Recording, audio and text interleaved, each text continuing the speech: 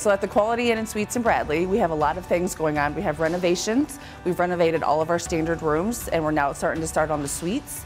Um, we have all new bedding in there, um, all new walls, carpet, everything's changing. So we're just moving fast and forward. We have a lot of corporate guests that come in to use our space for meeting.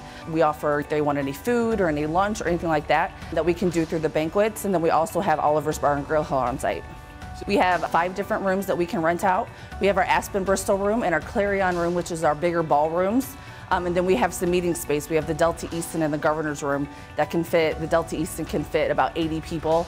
And then um, the smaller rooms can do about 30. Our facilities are large enough that we have enough space to offer for anybody that needs anything. Our guest comes first and we want the guest satisfaction. With our renovations, I feel like it brings a better idea of our hotel. We're always just about the guests and we just want to make the guests happy.